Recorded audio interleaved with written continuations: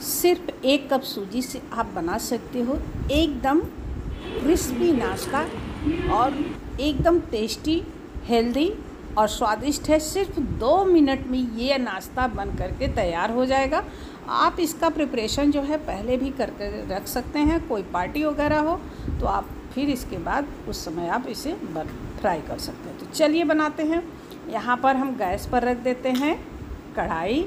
और उसमें डाल देते हैं एक चम्मच रिफाइंड ऑयल। आप जो भी कुकिंग ऑयल खाते हैं, यहाँ पर आप ले सकते हैं। तो जब तेल आपका गर्म हो जाए तो यहाँ पर हम डाल देंगे एक चम्मच जीरा और देखिए, एक चम्मच यहाँ पर हम सफ़ेद तिल को ऐड करेंगे। ऑप्शनली है, आप चाहे तो स्किप भी कर सकते हैं, लेकिन इसे आप डालेंगे तो इसका टेस्ट जो है बहुत ही बढ़िया आएगा।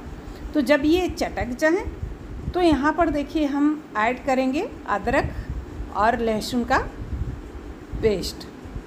और यहाँ पर हरी मिर्च हम जो है एकदम बारीक कट कर लिए हैं। और यहाँ इसी स्टेज पर हम ये डाल देंगे काली मिर्च। आधा चम्मच हमने यहाँ काली मिर्च को ऐड किया। अब हम रेड चिली फ्लेक्स ऐड कर देंगे। देखिए, आप तीखा अगर कम खाते हैं, बच्चों के लिए बना रहे हैं तो आप स्किप भी कर सकते हैं। और इसे थोड़ा सा आप एक से दो सेकंड तक इसे भून सकते हैं। भूनने के बाद यहाँ पर हम ऐड करेंगे एक कप पानी। जिस कप से आप सूजी लेंगे, उसी बर्तन से आप जो है एक कप उसमें पानी डाल देना है। तो यहाँ पर हम एक कप पानी ऐड करेंगे।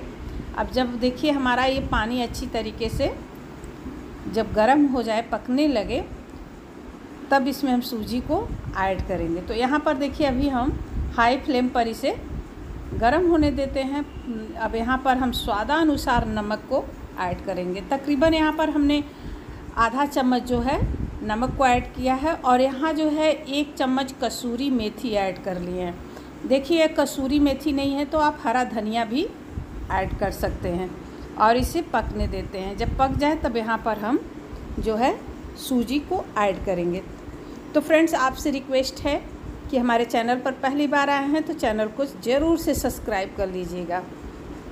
तो देखिए, यहाँ पर जिस बर्तन से हमने सूजी लिया है, उसी से हम एक कप पानी डालेंगे और दो चम्मच और हम इसमें एक्स्ट्रा ऐड कर लिए हैं।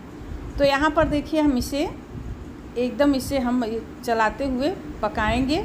जब अच्छी तरीके से ये पक जाए और ये सूख जाए तो देखिए हमारा तकरीबन जो है ये अब पक रहा है, अब इसे चलाते हुए हम इसे पकाएँगे। जब ये सूखने लगे ना, तब गैस के फ्लेम को हम बंद कर देंगे। यहाँ पर हम जो है, फ्लेम को मीडियम टू हाई कर लिए हैं। तो यहाँ पर देखिए, इसे हम चलाते हुए पकाएँगे। और अब यहाँ देखिए, हमारा ये अच्छी तरीके से पक चुका है।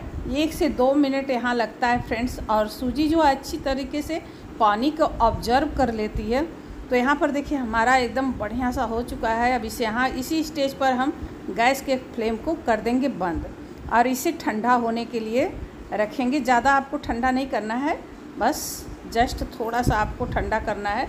तब तक यहाँ पर हम क्या करेंगे? दो आलू लेंगे। उबले हुए आलू हमने पहले से ही उबाल करके उसे फ्रीज में रख दिया था ठंडा होने के लिए। तब तक हम इसे ठंडा होने देते हैं और आलू देखिए हमने इसे इसको हम छील लेंगे देखिए, आप गरम आलू नहीं लीजिएगा। अगर आपके पास है तो उसे ठंडा कर लीजिए या पहले से। आप उबाल करके फ्रिज वगैरह में रख दीजिए या बाहर ही रख दीजिए। ठंडा आपको आलू ले लेना है। तो इस तरीके से आप दोनों आलू छील लीजिए और देखिए, ग्रेट कर लीजिए। इससे क्या होंगे, उसमें बिल्कुल भी लम्स नहीं पड़ेंगे। तो यहाँ पर हम दोनों आलू को ग्रेट कर लेते हैं। बहुत ही इजी सा नाश्ता फ्रेंड्स बन करके फटाफट तैयार हो जाता है। अगर आपके पास ग्रेटर नहीं है तो आप जो है मैसर से मैश कर सकते हैं। अगर मैसर भी नहीं है तो आप कोई गिलास कटोरी से लेके ऐसे अब उससे दबा दबा करके मैश कर लीजिए। तो यहाँ पर देखिए, हमने इसको इस तरीके से सारे आलू ग्रेट कर लिए हैं दोनों। अब क्या करेंगे, हम ये सूजी और आलू दोनों हम एक थाली में निकाल लेंगे। तो यहाँ पर देखिए, हमारे सूजी जो है ना, अब बिल्कुल हल्के हल्के गरम से हैं। अब यहाँ देखिए, इसे हम मिक्स करेंगे और आटा की तरह इसका एक डो लगा लेंगे। अब इसे अच्छी तरीके से आपको मिक्स कर लेना है और आटा की तरह इसका डो बना लेना है। देखिए, ऐसा है कि अगर आपके हाथों में चिपक रहा हो तो आप क्या करें ना, इसी स्टेज में हाथ में थोड़ा सा आप तेल लगा लीजिए। कोई भी ऑयल लगा सकते हैं। और उससे क्या होगा, आप इजली जो है कर पाओगे और जो है अच्छी तरीके से मैश कर लोगे। और यहाँ पर जब आप डो बना लीजिए, यहाँ पर हमारा जो सूजी है ना, बहुत हल्का सा गर्म है, क्योंकि ठंडा होने के बाद उतने बढ़िया से नहीं हो पाएगा तो इसलिए गरम गरम में ही आप इस तरीके से कर सकते हैं। तो इस तरीके से देखिए, हमने इसे मैश कर लिया है। दो से तीन मिनट तक आपको इस तरीके से पूरा एकदम बढ़िया सा मैश करना है तो देखिए यहाँ हमने मैश कर लिया और यहाँ थोड़ा सा हमने हाथ में आयल लगा लिया था, क्योंकि हाथ में लगता है कितना भी आप करो ना तो भी हाथ में थोड़ा बहुत तो लग ही जाता है। और देखिए इसे हम रेस्ट के लिए रखेंगे, एक से दो मिनट तक।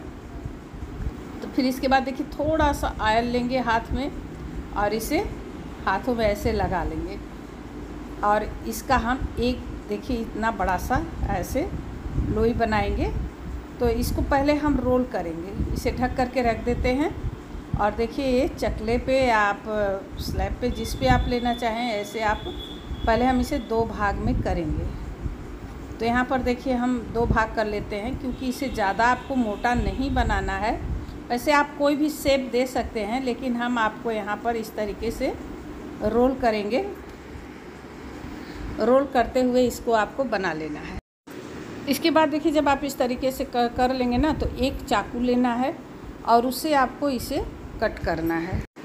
छोटे छोटे क्यूब्स में इस तरीके से हम कट कर लेंगे और आप जो भी शेप देना चाहते हैं आप दे सकते हैं लेकिन देखिए हमने इस तरीके से इससे कट कर लिया। इसी तरीके से हम बाकी कट कर लेंगे और जितनी ज़रूरत हो उतनी क्वांटिटी में आप बनाइए। और यहाँ पर देखिए आयल हमारा गर्म हो चुका है। अब उसमें हम ये सारे क्यूब्स डाल देंगे। फटाफट दो मिनट में फ्रेंड्स ये बन जाता है और बहुत ही इजी तरीके से बन जाता है। इसे आप कई तरीके से भी बना सकते हो। और देखिए, आपको हमने बताया है, कई वीडियो में इस तरीके से बताया है कि जब भी आप कोई चीज़ फ्राई करने के लिए डालते हैं तो जब वो अपने आप धीरे धीरे ऊपर आ जाता है, तब उसे आप चलाना स्टार्ट करें। उससे देखिए आप तब इसके बाद चलाइए, पलटिए और यहाँ पर हमने जो मीडियम टू लो फ्लेम किया है क्योंकि हाई फ्लेम पर ये जल जाएगा और देखिए इस तरीके से आप धीमे आँच पर बनाएँगे ना तो ये अच्छी तरीके से क्रिस्पी हो जाएगा। जब एकदम ब्राउन हो जाए तो देखिए इसे आप एक प्लेट में निकाल लीजिए। देखिए जब जैसे जैसे ठंडा होता है वैसे वैसे इसकी क्रिस्पनेस जो है बढ़ती जाती है। और इसी तरीके से देखिए आपको फ्राई कर लेना। है एक साथ में आप चाहें तो बहुत सारे बना सकते हैं। आप क्यूब्स बना करके फ्रीज फ्रिज में रख दीजिए। और इसके बाद जब गेस्ट आते हैं, बस फटाफट अपना ऑयल गर्म कीजिए, उसमें डालिए और इस इस तरीके से फ्राई कर लीजिए। अब यहाँ हम अपना सेकेंड बैच भी देखिए, यहाँ पर हम इसे फ्राई करने के लिए डाल देते हैं। तो इसे भी हमने कट कर लिया है और इसको भी हम डाल देते हैं। और बहुत ही इजी तरीके से देखिए हमने फटाफट इसे बना लिया है। अगर आपके चाकू में ज़्यादा चिपक रहा हो तो आप ऑयल लगा सकते हैं। तो हाथ से आप करेंगे तो आपके हाथ में चिपक जाएगा। और इसी तरीके से जब एक से दो मिनट बाद ये जो है अपने आप ऊपर आ जाता है तो इसको हम ऐसे फिर इसके बाद चलाएँगे। और देखिए अच्छा तरीके से एकदम बढ़िया सा ब्राउन क्रिस्पी हो चुका है। हमने केवल दो बैच ही बनाया और उठा करके हमने फ्रिज में रख दिया है इसका डो जब हम हमारा इच्छा होगा, फिर हम बनाएँगे। कोई गेस्ट आएगा तो बना देंगे। इसे आप 10 से 15 दिन तक फ्रीज़र में आप रख सकते हो जिससे कि वो जल्दी ख़राब नहीं होता है।